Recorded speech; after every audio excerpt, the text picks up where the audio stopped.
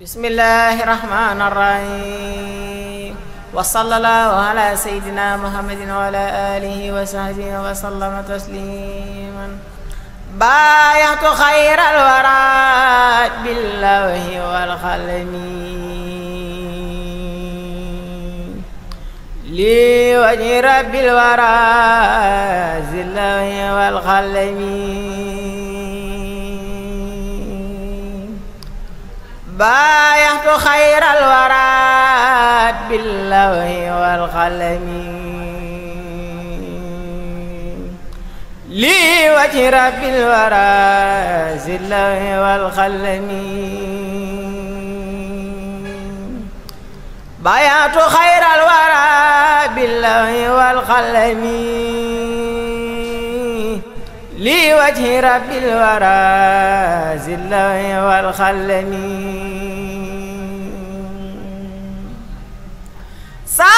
في خدمتي ما هي معاينة تغني عني سكي في ربي وعن سلمي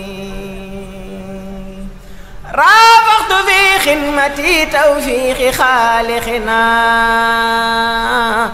الملهم الخير ماهي الجهل والألم. فاز الخلام وفاز القلب ما بدني في الله والسكر والمختار في خدمي. الله رب كريم لا شريك له. في الملك والحمد فردا جل عن حمدا لمنسلي دنا ودائي. ومنسلي صفاء والدواء حمدا لمنسلي دنا ودائي. ومنسلي صفاء والدواء من أمر العباد بالدعاء. به عن البلاء ثم على من عيس ما سامرت يبرى بلا بد وفاس بالخراد محمد طبيبنا الحكيم. عسكى سامي ربنا الكريم. ولا لواسعد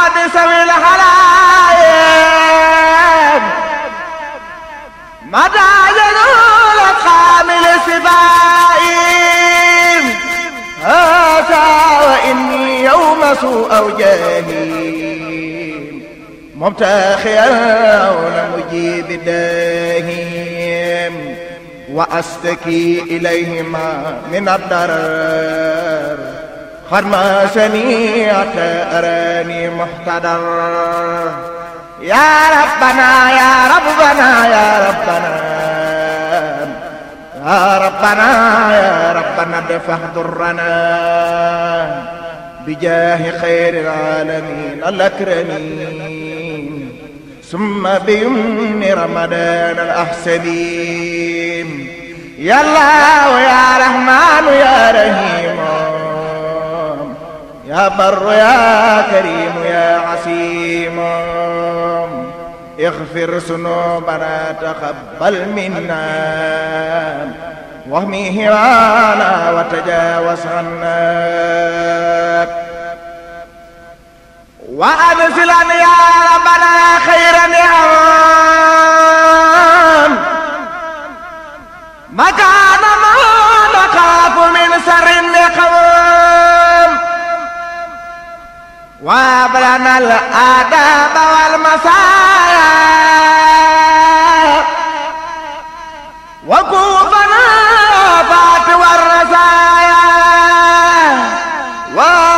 وابلنا إرسالات وكوفنا الكسل في الأوقات يا بر يا لطيف يا محاتي يا من له أمر الورى يا سافي أنزل شفاءك مكان دائم ولا تعاملنا بالابتلاء وأنزل النفع مكان الضر وأنزل الخير مكان الشر وأنزل العلم مكان الجهل وأنزل الجود مكان البخل وأنزل الغنى مكان الفقر وانزل سكر مكان الكفر. وفي جميع المسلمين غاجلا. سماقي خوفا حسنا عاجلا ونجيم وعافيم والتف بهم ولا تواقسهم بكسر سنبهم فإنهم وإن عصوك يا أهد لخافة لم يشركوا بك أحد وإنهم أبدانهم لا تقدرون على بلائك لجحف يزهرون La première caractéristique de ce troisième millénaire est fondamentalement due à la disparition de la religion. Vous pouvez toutefois quand même me poser la question pourquoi aujourd'hui il y a des mosquées, etc. Mais aujourd'hui, on a seulement des religions de façade, des religions figuratives auxquelles les gens ont tendance à être, comme on le dit, on le dit se revendiquer de l'étiquette, mais lorsqu'il s'agit tout simplement d'être des pratiquants, c'est-à-dire avérés, mais ça. Donc, l'existence de Dieu et parfois la religion a disparu. Les gens qui quittent tout simplement les mosquées se permettent tout simplement de fréquenter les boîtes de nuit, etc. Sont ces mêmes gens-là qui, qui, qui, qui, non seulement remplissent les mosquées, qui remplissent les boîtes de nuit et autres. Donc, c'est une, une, une religion de façade, de circonstances et parfois de sociologie. Parfois, on a tendance à voir que les gens vont à la mosquée et par conséquent, nous, nous allons à la mosquée. Donc, il y a un système de mimétisme ou je ne sais quoi qui finit par euh, faire que l'islam, donc, on n'a pas effectivement donc cet islam authentique. Donc, ce, que soit l'islam, et je ne, me, je, ne vais pas me limiter parce qu'ici on parle seulement euh, du, du troisième millénaire, même le christianisme, on ne peut pas fondamentalement se limiter à ça. Parce que même les religions euh, monothéistes également sont victimes de cela. Et les gens se tardent d'être musulmans, chrétiens, mais en aucune manière ils ne sont conformes au paradigme, et aux principes de base qui gouvernent ces religions. Or, le statut disparaît en réalité. Parce que j'ai toujours l'habitude de dire qu'il y a ce qu'on appelle seulement des statuts et des rôles. Si l'individu quand même n'exerce plus les principes de base qui gouvernent une religion, le statut disparaît. Tu ne peux pas te prévaloir de l'étiquette d'un musulman et vous voulez défier l'ensemble des principes de base qui gouvernent la religion musulmane, mais vous n'êtes pas musulman. Vous pouvez tout simplement avoir le plaisir de vous appeler musulman, mais vous ne l'êtes point. Ça, il faut que tout simplement les gens le sachent. Et cela est valable pour soit le christianisme et autres. Mais cette disparition de la religion est dit, comme je vous l'ai dit, c'est une conséquence cohérente de ce que j'ai appelé, de ce que j'ai considéré tout à l'heure comme tout simplement la disparition de Dieu dans nos, dans nos pratiques. Et par conséquent, ce qu'on constate aujourd'hui, c'est qu'il y a un manque de repères. Parce que si l'homme a, a, cru qu'effectivement, avec tout simplement sa maturité, il peut aujourd'hui il peut aujourd'hui gouverner le monde, ou bien l'homme croit que... Donc, si l'homme croit que à travers cela, il peut faire fi seulement de la religion, c'est surtout laissant en rade la religion et espérer, je ne sais pas, un salut, mais ça c'est du domaine de, donc, de l'impossible. C'est la raison pour laquelle donc, il y a donc cette disparition de Dieu qui a engendré seulement une perte de valeur parce que l'homme ne sait où aller. Il avait cru à la science comme la science pouvant apporter une solution à ses interrogations, mais tel n'est pas le cas. Aujourd'hui, malgré l'évolution de la science, l'avancée de la science, l'homme est toujours confronté à des questions métaphysiques. Et cette question métaphysique, c'est Dieu. Parce que, nous sommes, parce que la science a apporté quelque chose qui est le matérialisme. Donc, parmi donc, les caractéristiques de ce 21e siècle, il y a ce matérialisme. Maintenant, l'homme croit à la matière, à ce qui est visible, ce qui est palpable, laissant à rade l'immatérialisme. C'est-à-dire, l'immatérialisme, c'est la métaphysique, c'est Dieu, c'est le jour du jugement dernier, c'est tout simplement le pont Sirat, c'est également, c'est également, le jour du jugement dernier, c'est également la présence avec Dieu. Et Dieu l'a dit que nous tous, nous allons comparaître devant lui. Mais l'homme, du fait de son attachement à, des, eh, à cette mondanité, fait qu'il a tendance donc à oublier et à laisser en rade ces matériels, l'immatériel. Et la science n'a pas apporté aujourd'hui une solution par rapport à des questions comme la mort et les questions sur Dieu. Donc, c'est ça fondamentalement qu'il faudra comprendre qui, parmi les signes caractéristiques de ce, de ce troisième millénaire. Je remercie également M. Cheikh Mabessé qui a bien balisé le terrain, puisqu'il s'agit, il s'est agi pour lui de nous décrire ce 21e siècle pour voir est-ce qu'effectivement l'homme, face à ce que Jean Leclan, qui fait partie des intellectuels les plus éminents de la France, les plus grands égyptologues de la France, décrivait comme étant un monde où il y a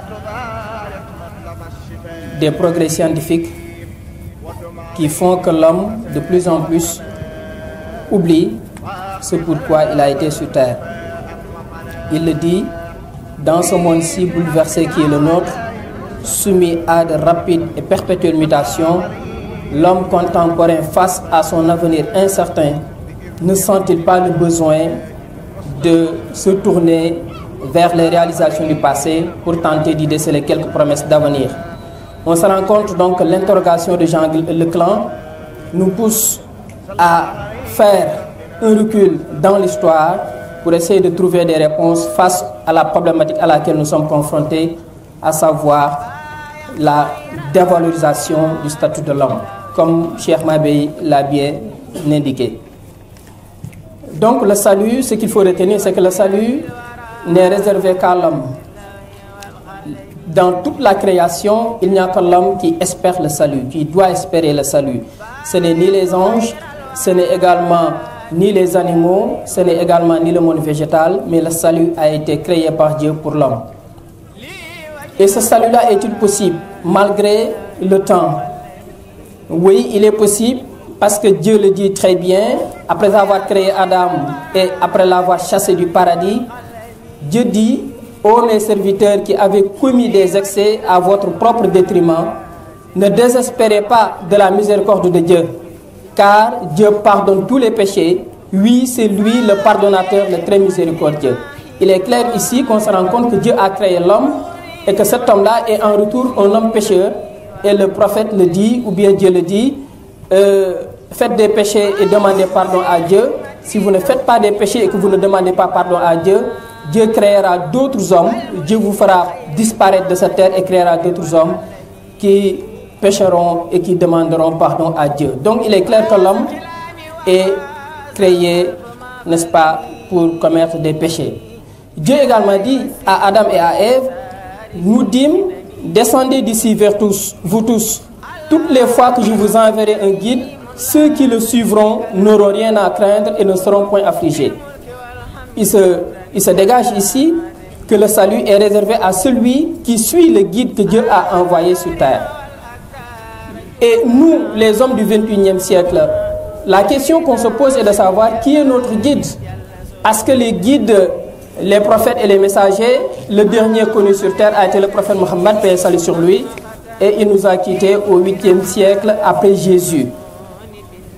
Dieu aussi dit, et ceux qui ne croient pas à nos messagers et traitent de mensonges nos révélations, ceux-là sont les gens du feu où ils demeureront éternellement. Donc, à côté de ceux qui espèrent le salut, il y a également ceux que Dieu, n'est-ce pas, châtiera pour avoir ne pas suivi ses guides, mais aussi pour avoir désobéi à ses enseignements. Donc le salut, il est possible dans la mesure où l'homme reconnaît le guide ou les guides que Dieu a envoyés sur terre. Et même si les guides sont partis, ils nous ont laissé leur héritage. Et pour ce qui concerne les musulmans, l'héritage laissé par le prophète Mohammed salut sur lui a été le Coran et sa tradition. Le Coran et sa tradition qui connaissent au fil du temps et au fil de la géographie des déformations de l'homme qui sont tentées par Satan, le bas monde et leur âme charnelle. Mais le prophète Mohammed avait aussi dit dans un hadith, au début de chaque siècle, Dieu va envoyer un rénovateur qui va se charger de euh, rénover l'islam, de rénover les enseignements du prophète Mohammed sur lui, d'être en quelque sorte un guide, si vous voulez, du peuple vers lequel il a été envoyé. Et parmi ces, ces rénovateurs, le plus connu chez nous au Sénégal, en Afrique de l'Ouest, a été chez Ahmoud Bamba Khadim Mustafa, qui a été envoyé pour être l'héritier spirituel du prophète Mohammed salut sur lui et a fait une œuvre grandiose qui continuera toujours à faire ses, n'est-ce pas, euh, à, à, continuer une œuvre qui, va, qui sera pérenne dans le temps et dans l'espace. Dieu aussi nous dit, nous prévient, quiconque fait un bien fût du poids d'un atome, le verra, et quiconque fait un mal fût du poids d'un atome, le verra. Donc il est clair que l'humanité tout entière s'attend à un jour qui sera le jour du salut pour certains, mais aussi le jour de la tristesse pour d'autres, que Dieu nous en préserve. Et ce jour-là, c'est le jour du jugement dernier, n'est-ce pas, auquel Dieu nous avertit en nous, disant qu'aucune âme ne portera le fardeau, le péché d'autrui, et qu'en vérité, l'homme n'obtient que le fruit de ses efforts, et que son effort en vérité lui sera présenté le jour du jugement, ensuite il en sera récompensé pleinement. Donc on saura à l'au-delà qui a le salut et qui ne l'a pas. Mais il y a des privilégiés de Dieu sur terre qui ont eu le salut sur terre. Le prophète a indiqué 10 personnes, 10 de ses compagnons en disant que c'est des compagnons qui habiteront le paradis alors qu'ils étaient encore en vie. Il y a également des hommes de Dieu qui ont dit de certains de leurs disciples qu'ils entreront au paradis alors que ces disciples sont encore en vie. Alors le salut est très possible. Le salut également est une exclusivité de l'homme qui est la meilleure créature et la créature la plus parfaite et qui est, n'est-ce pas, choyée par Dieu qui dit j'ai créé l'homme et c'est la meilleure des créatures.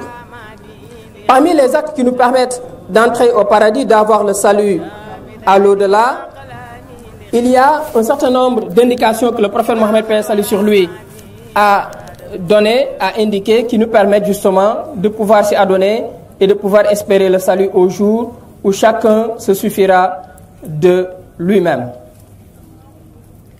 Le prophète Mohammed dit quiconque rencontre Allah sans lui associer, sans lui associer, entrera au paradis. C'est ce que le verset a dit tout de suite que Dieu pardonne tous les péchés sauf celui qui l'associe à quelque chose ou à quelqu'un d'autre, n'est-ce pas, sans se repentir avant sa mort. Ce hadith est rapporté par Bukhari et Muslim. On raconte aussi qu'un homme est entré au paradis pour avoir abreuvé un chien, simplement qui a failli mourir de soif. Donc c'est des actes qui sont petits, mais qui peuvent nous permettre d'avoir le salut à l'au-delà, parce que c'est des actes extrêmement importants et extrêmement euh, lourds sur la balance de Dieu. Le prophète aussi a dit, tous les hommes entreront au paradis, sauf celui qui refuse. Les compagnons lui demandèrent, Ô prophète de Dieu, qui est celui qui refuse Le prophète répondit, celui qui m'obéit entre au paradis et celui qui me désobéit, n'est-ce pas, a refusé et n'entrera au paradis. Donc la voie du paradis, c'est la voie de l'obéissance, de l'obéissance à Dieu. Et Dieu a une porte, le prophète Mohammed paix salut sur lui, qui nous a enseigné comment le suivre et comment espérer son salut.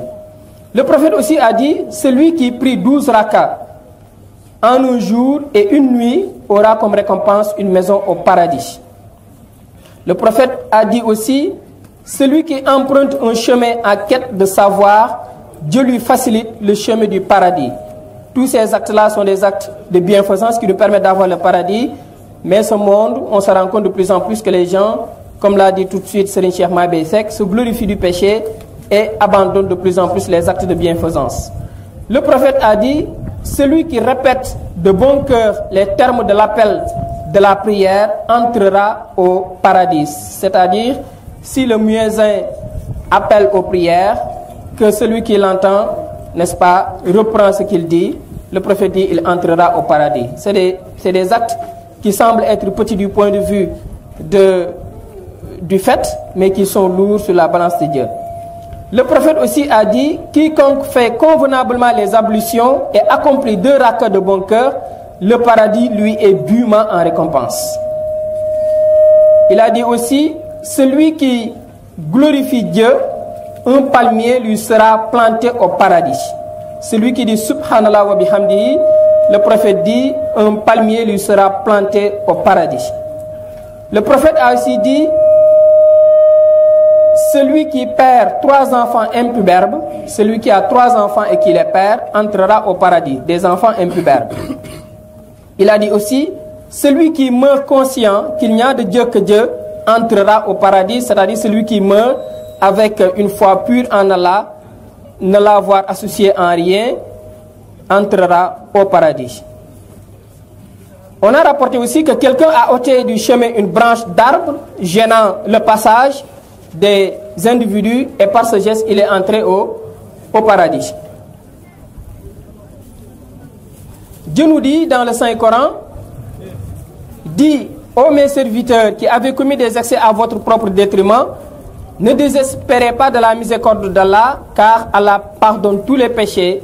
Oui, c'est lui qui pardonne, c'est le très miséricordieux. Le prophète aussi a dit, lorsque Dieu créa le monde, il écrivit dans un livre placé auprès de lui, au-dessus du trône, je le cite, Ma miséricorde l'emporte sur ma colère.